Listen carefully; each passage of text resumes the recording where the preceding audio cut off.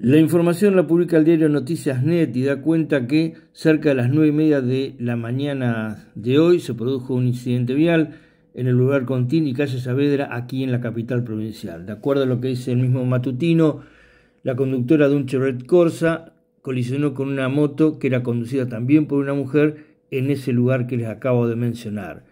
El impacto fue importante, el casco de la joven voló por el aire y terminó a varios metros de distancia por delante del rodado mayor.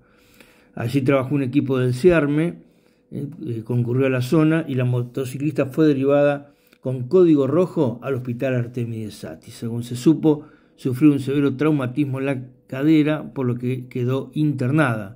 Personal de tránsito y de la Policía de Río Negro realizaron las actuaciones de rigor y los dos vehículos quedaron secuestrados. Repito, esta es información que publican los colegas del diario Noticias Net. Mapuchito Noticias crece día a día. Es gracias a tu aporte. Suscríbete a Mapuchito Noticias. Dale click a la campanita.